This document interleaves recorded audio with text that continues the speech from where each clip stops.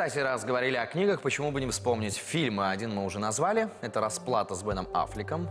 В той или иной степени к картинам, где затрагивается тема аутизма, относят всем известные «Жутко громко и запредельно близко», «Я Сэм», «Меркурий в опасности», «Что гложет Гилберта Грейпа» с Ди Каприо, «Меня зовут Хан». Но, безусловно, самым популярным и самым известным из всего снятого в Голливуде и за его пределами считается «Человек дождя». Дастин Хоффман в 1989 году за исполнение роли Реймонда получил второго в своей жизни Оскара и пятый «Золотой глобус». Но поначалу актеру было непросто, и он даже просил режиссера заменить его. Что интересно, заметьте, в списке нет русских фильмов, и нам есть еще чему поучиться, и мы учимся. Так, на конференции было несколько иностранных специалистов. Об их наработках прямо сейчас.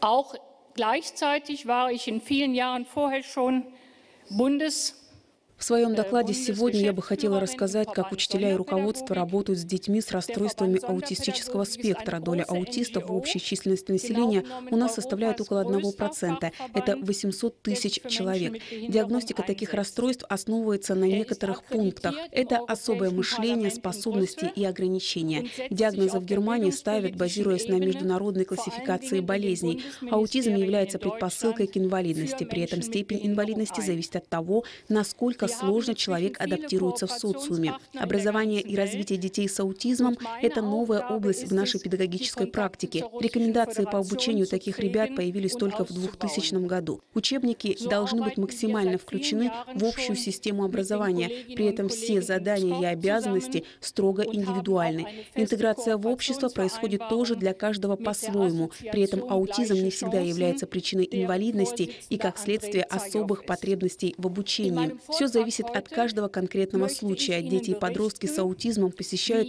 все типы школ. Очень важно, напомню, организовать для них индивидуальный подход. Поддержка таких детей включает разные формы и направления. Даже если ребенку не нужна особая программа, школа все равно должна обратиться к специалистам по аутистическому консультированию.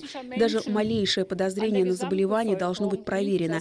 Вот некоторые признаки. Дети и подростки могут быть гиперчувствительными к звукам, прикосновениям, визуальным эффектам. Они воспринимают все иначе. Числовые последовательности они могут воспринимать, например, как мелодия, а цвета ассоциировать с конкретными звуками. Часто ребята воспринимают только отдельные детали. Возникают проблемы с общением, детям сложно ориентироваться в новой ситуации, выполнять задачи. Шум и ограниченность школьного пространства – это большая проблема для учеников с аутизмом. Даже простая перестановка предметов может привести к перенапряжению. Ученики отключаются и не воспринимают важную информацию, возникает агрессия и аутоагрессия. Нередко такое поведение кажется асоциальным. Для большинства ежедневные разговоры и общение – огромная проблема. Аутисты сложно воспринимают жесты, не умеют правильно распознавать эмоции. Мы стараемся объяснять все эти особенности нашим ученикам, чтобы не возникало ложных слухов и осуждения. Согласие заинтересованного лица при этом является обязательным. Повседневная школьная жизнь человека с аутизмом должна быть адаптирована для него. Для решения проблем с восприятием мы предлагаем наушники или шумозащиту, защиту зрения. Уменьшаем шум, корректируем источники света, открываем окна, зажигаем свечи. Иногда предлагаем собственную комнату для занятий или экзаменов, индивидуальное рабочее место недалеко от класса. Педагоги ограждают ребенка от неконтролируемых ситуаций, таких как перемена.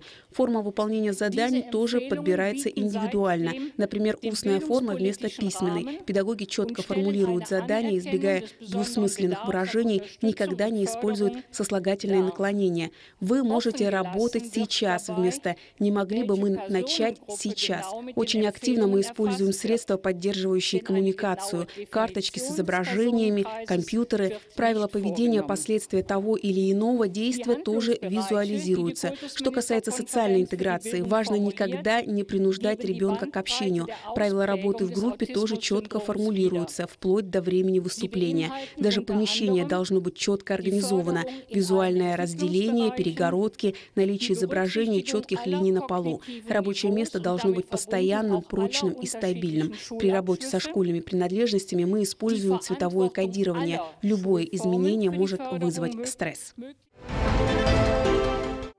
Причем в той же Германии утверждают, что научились лечить людей с аутизмом. Причем каждому у них индивидуальный подход. Для начала человека обследуют, делают анализ активности мозга. Дальше у каждого появляется своя картина заболевания. Поэтому подход и длительность лечения разные. При этом врачи сразу делают оговорку. Достигнутое улучшение может варьироваться от пациента к пациенту, и на него влияет целый ряд факторов, таких как, например, физическое состояние или возраст. Ну что ж, продолжим слушать иностранцев. Ich bin Direktor der Albert-Einstein-Schule in Frechen, in Nordrhein-Westfalen in Deutschland.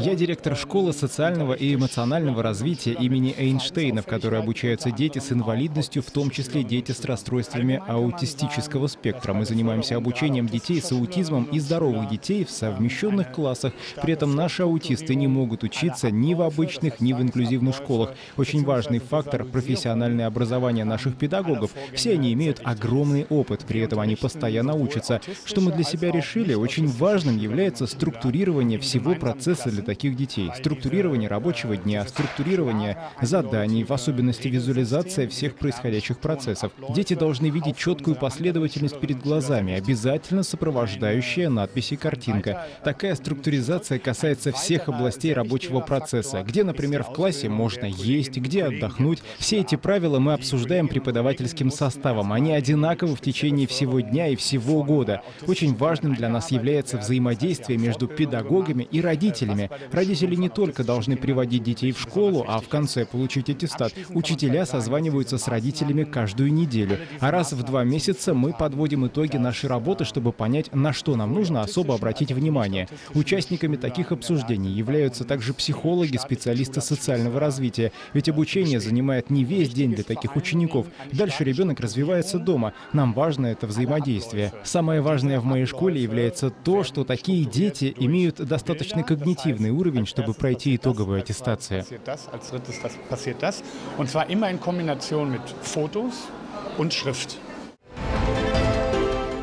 Хотя что ж мы с вами все о Германии да о Германии. К примеру, Великобритания – страна с одним из самых высоких уровней трудоустройства инвалидов. Там где-то около половины получается, 50 с лишним процентов. А вот для людей с аутизмом работу у них оказалось найти не так-то просто. Поэтому там в 2009 году был принят специальный закон, который бы регламентировал это. И сегодня уже 15% британцев с аутизмом трудоустроены. В Швейцарии еще в 1992 году открыли специализированную школу, где можно получить начальное, среднее и даже высшее образование – в Израиле разработали инновационную модель трудоустройства взрослых с аутизмом. Россия в этом плане только в начале пути. Мосты налаживаем всеми способами. Молодец, еще одно слово напиши. Еще ручку потренируем. Он старательно выводит строчки каллиграфическим почерком. Не каждый малыш пишет так красиво в первом классе. Мальчик сел за парту в 9 лет. Именно в этом возрасте дети с синдромом Дауна готовы учиться. Класс коррекционный, но школа обычная, серьезное достижение. Успехами сына мама Елена делится в соцсетях. Полгода назад она начала вести страничку в Инстаграме от имени Глеба. Оказалась информация интересна другим родителям. Вот фото с последнего тюменского проекта «Школа для всех», когда дети с синдромом Дауна знакомятся и играют со здоровыми школьниками. Подписчиков пока немного, но за жизнью солнечного мальчика уже наблюдают люди из Сочи, Пскова, Владивостока, Москвы и даже других стран – США и Японии. Мне написала э, девушка э, из Японии, она русская, ну, у нее муж японец. И вот так сложилось, у них первая дочка э, обычная, и второй ребенок, мальчик, ну, с синдромом Дауна. У нее пока сейчас тяжелая ситуация психологически. Вот она ищет информацию, как люди вообще с этим управляются. И написала мне, посмотрев на Глеба, понаблюдав за ним, вот э, письмо, мне, говорит, легче становится от этого. На днях президент тюменской организации «Солнечный луч» Ольга Зыкова побывала в Москве на международной конференции, посвященной людям с лишней хромосомой. Более 300 участников из 60 городов впервые с докладом на сцену вышли сами солнечные люди.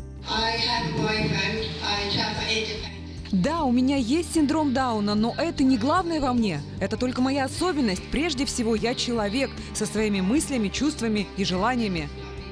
20-летняя Флоренс приехала из Великобритании, занимается плаванием, работает в кафе и ведет свою собственную колонку в газете. Мы попили чай вместе с Флоренс, а, были очень поражены тем, что она абсолютно обычная девушка и ничем не отличается, разве что немного внешне. А Флоренс мечтает жить самостоятельно, и, конечно, нам бы очень хотелось, чтобы наши дети выросли такими же, как она. Сегодня в Тюменской области свыше 200 детей с синдромом Дауна. Организаторы проекта «Школа для всех» надеются, что их поддержат и другие образовательные учреждения Тюменской области. В планах родителей сделать эту акцию постоянной, чтобы здоровые дети, подружившись с особыми, могли вступить в ряды волонтеров. Вера Баранова, Сергей Мякишев, Тюменское время. Знаете, кстати, предположительно, в той или иной форме аутизмом страдали такие известные люди, как Альберт Эйнштейн, Николай Гумилев, Валерий Брюсов, Джеймс Джойс, Дмитрий Шестакович, Карл Густав Юнг, Сергей Прокофьев. Список большой. Но, наверное, самым известным сейчас в России все-таки является Антон Харитонов – Фильм «Антон тут рядом», пусть и документальный, один из первых в стране обратил внимание на проблемы аутизма. После его выхода в 2013 году режиссер картины Аргус открывает Центр помощи особым людям и называет его «Антон тут рядом». Тюменская область также реализует свои программы. О некоторых расскажет директор областного центра реабилитации инвалидов Екатерина Джевелик. В нашем областном центре а, реализуется проект, который называется «Я вырасту». Проект появился более полутора лет назад а, по инициативе, в том числе и общественных организаций, что для нас действительно было так скажем, большой находкой, потому что мы долго шли к системе определенной и выстраивали работу с детками с аутизмом. И по результатам взаимодействия с общественными организациями и по результатам посещения международных конференций мы для себя разработали определенную стратегию, программу, а, которая для нас э, была вот просто палочкой-выручалочкой, и мы смогли взять э, на коррекционные занятия 8 детей. А почему 8, объясню. Потому что э, есть система маршрутизации, которая разработана у нас в регионе, ее курирует здравоохранение. И в этой системе участвуют учреждения и здравоохранения, и образования, и отрасли социальная защита. Наше учреждение является одной, одной, да, одним из э, данной системы. А, восемь детей, которые в течение года а, работают с нашими специалистами. А, три раза в неделю, э, порядка 90 минут и плюс дополнительно еще э, физическая реабилитация, что является, по сути, неотъемлемой частью. А, результаты мы уже почувствовали. А, мы в этом году проводили в школу несколько детей. Для нас действительно это было очень трепетно, ожидаемо. Мы очень переживали и до сих пор сопровождаем наших деток.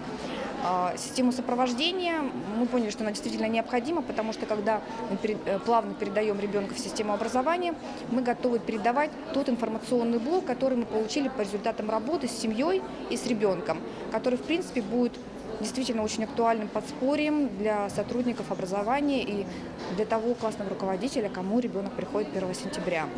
Оно поможет выстроить работу, выстроить систему взаимодействия, ну, в принципе, облегчить получение академических каких-то вот э, знаний для ребенка, ну и помочь адаптироваться семье, потому что ну, нередко семья испытывает определенные психологические трудности при переходе в образовательное учреждение. Поэтому провели огромную работу по дополнительному образованию данных специалистов. А, наши специалисты были в Пскове, в Нижнем Новгороде, плюс дополнительно посещали международные конференции, полностью собирали, анализировали всю информацию и выстраивали нек некую такую стратегию по профессиональному образованию наших педагогов. Это различные методики, технологии, в том числе и европейские. Мы э, проводим диагностику перед началом занятий. Диагностика проводится не только с ребенком, но и с семьей.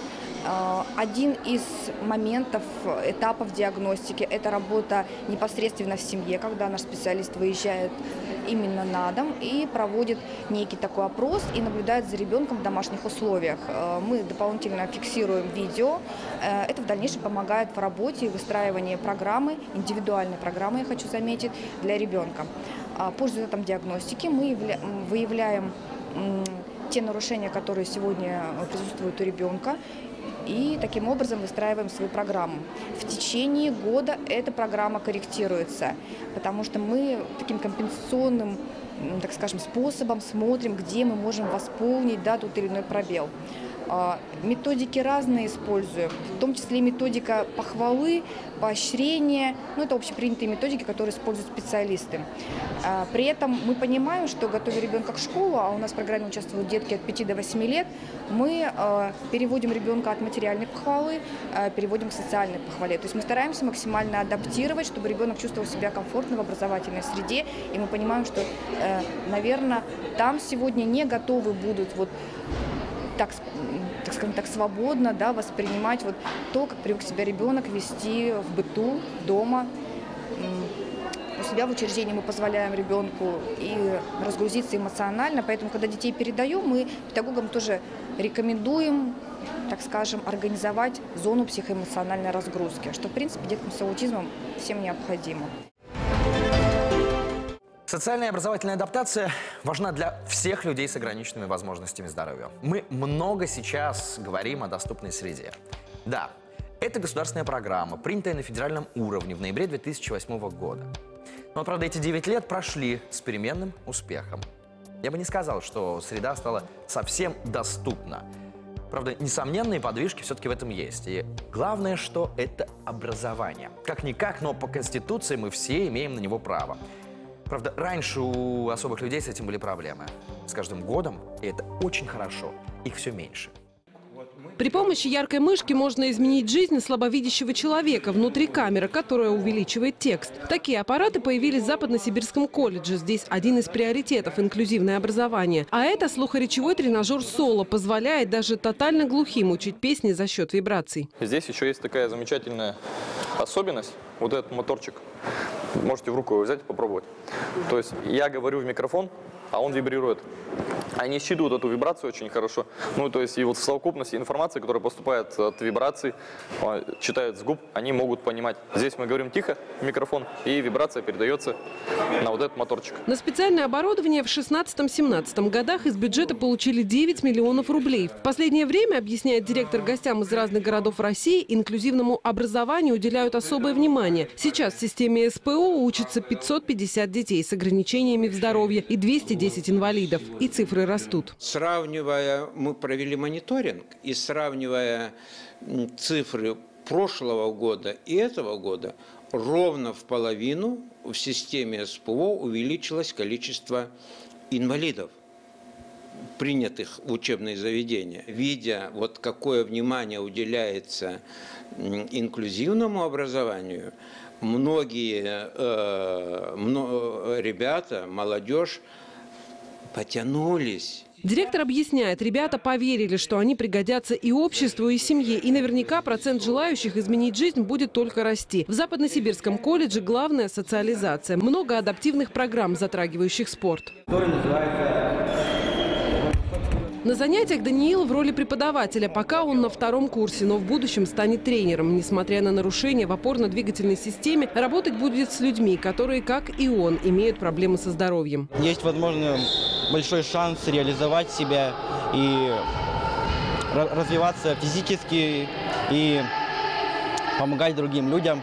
Каждый день тренировки, и просто жизнь летит, и ты вот сам развиваешься параллельно с жизнью. И вот так вот и живем как каждый день активно. Специалистов среднего звена направления физкультура готовят в регионе только здесь. База хорошая. Среди преподавателей мастера спорта и кандидаты наук. Педагоги по адаптивной физической культуре, они на сегодня очень востребованы, актуально это направление. И наш колледж на сегодня является а, единственным, кто готовит в регионе этих педагогов. Они могут работать во всех центрах специализированных, они могут работать с детьми с ограниченными возможностями. Чтобы в среднее профессиональное звено активно приходила молодежь, подготовка начинается намного раньше. Во многих школах Тюмени есть классы для особых детей. Так, в седьмой в этом году впервые набрали коррекционный класс. 14 ребят из разных районов города получают здесь образование по отдельной программе. Переподготовку прошли почти все преподаватели-предметники. Пока это пятый класс, но учеников планируют довести до выпускного. Принимают всех желающих. Марина Климович, Дмитрий Бурматов, Тюменское время. Кстати, 1 сентября вступил в силу федеральный государственный образовательный стандарт для детей с ограниченными возможностями здоровья. Разработали его в Минобрнауке. По словам чиновников, рассчитан он в первую очередь на начальную школу, потому как именно в этот период возможно максимально скорректировать нарушения в развитии. Есть хорошие шансы, что это нововведение улучшит сегодняшнюю статистику. Сейчас в стране только 20% школ реализуют инклюзивное обучение. Сделать это можно в том числе и благодаря одному из авторов стандарта, который в очередной раз приехал в Тюмень во время проведения этой самой международной конференции. Андрей Царев говорил о комплексной модели работы с особыми людьми. Такая есть в Пскове. Модель комплексного сопровождения э, должна быть, на мой взгляд, в каждом регионе своя принята.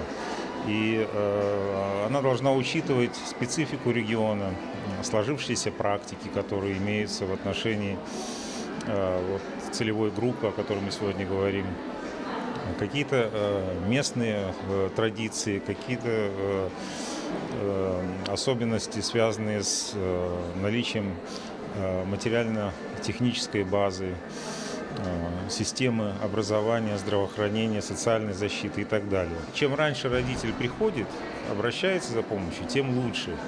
Но не всегда родители приходят сами рано, да, и поэтому э, бывают случаи, что ребенок вдруг э, появляется э, когда ему 5, 6, 10 лет, э, и спрашиваем, а где же вы были раньше? Ну, мы дома сидели. Вот, поэтому Э, очень важно, во-первых, чтобы родители получали своевременно информацию. Как только обозначились какие-то проблемы или выявились, ну, чтобы они могли, соответственно, сигнализировать об этом. Ну и э, в связи с этим мы сейчас вводим, например, в регионе э, обязательный скрининг на признаки расстройства аутистического спектра для всех детей в возрасте от полутора лет. То есть Э, все дети э, от полутора до двух лет, когда они приходят к педиатру на прием, да, родители э, просто получают определенные определенную анкету, на вопросы, которые они отвечают, и анализ ответов он дает картинку о том, что есть риски да, эти или нет. И если есть, то врач уже дает определенные контакты семье. Обратитесь туда-то, туда-то, потому что есть э, вероятность э, нарушения развития. Важно, чтобы специалисты ранней помощи э, передавали тех детей, которые у них есть, уже в систему образования, детский сад, дошкольное образование. Таким образом мы пытаемся выстраивать и у себя тоже. После детского сада, естественно, на основании заключения ПМПК по определенной программе ребенок идет обучаться. Или же просто без ПМПК, но в школу, в обычную школу, если его развитие это позволяет. Вот. И э, в случае э, более тяжелых нарушений э, на ребенка разрабатывается специальная индивидуальная программа развития, и вот ребенок по ней обучается. А, и дальше, э, после э, выхода уже из школы, э, если он может получать какое-то профессиональное образование или обучение, он может поступить в колледж, например, да. Или же в случае тяжелых множественных нарушений развития Э, ребенок идет в специальные мастерские, да, у нас называется производственные интеграционные мастерские, где обеспечивается дневная занятость этого человека, это э, не трудоустройство в полном смысле этого слова, но занятость, чтобы он не сидел в четырех стенах дома, а мог быть э, с другими вместе. Э, э, и в то же время родители не будут прикованы к нему, да, они будут заниматься своей жизнью, ходить на работу, отдыхать. А человек будет днем находиться в этом э, учреждении организации, а вечером приходить домой, возвращаться в семью. Ну и параллельно э, вот, решаются вопросы по э, сопровождаемому проживанию, то есть это проживание уже без родителей, поскольку родители не вечные и э, нужно как-то решать вопрос о том, чтобы человек мог жить не в стационарном учреждении, не в интернате, а также, как и все другие, в обычных условиях, тем более, что он уже привык к ним, он вырос в социуме, и помещать его потом в учреждение стационарного обслуживания будет неправильно, это шаг назад. Создаются условия, и частично они уже есть, Э, когда человек живет э, в собственном жилом помещении, да, э, или арендуемом, или это его действительно собственность, или это в какой-то другой форме предоставленное жилье ему. И он получает услуги по сопровождению. То есть помощи столько, сколько необходимо, и самостоятельности столько, сколько возможно. В Пскове у нас есть Э, две пятикомнатные квартиры, в которых живут ну, вот, по пять человек, э, всего 10, э, соответственно. Есть люди, которых мы сопровождаем в их собственном жилье. Да? Они живут, не нуждаются в такой в частой, в постоянном сопровождении, а, скажем, несколько часов в неделю. Да? К ним приходит социальный работник, помогает им Э, там, рассчитать, э, например, средства для того, чтобы сходить в магазин и, и какие-то другие расходы сделать. Вот, помогает э, проконтролировать, там, может быть, или подсказать, э, где что и как нужно сделать в плане бытовом, или э, где-то выполнить за них. Здесь очень важно, чтобы э, люди э, не просто получали услуги, которые вот выполнялись за них, да, а чтобы все выполнялось вместе с ними. Термин «аутизмус» был придуман швейцарским психиатром Эйгеном Блейером в 1911 году. Современные значения он впервые обрел в 1938 году благодаря Гансу Аспергеру. В 1944 году он впервые описал это в книге. Еще в 70-х было непонятно, что является причиной заболевания. Пристальное внимание явлению начали уделять в нулевых. Очень хотелось бы надеяться, что прошедшая в Тюмень международная конференция пусть и не претендует на великие открытия, но хотя бы поможет нашей стране стать еще ближе к решению данной проблемы. И помните, что доступная среда выражается в первую очередь не в пандусах или в шумовых дорожках, но и в нашем отношении к окружающим. Сделайте доступнее, в первую очередь, свое сердце. Всего доброго.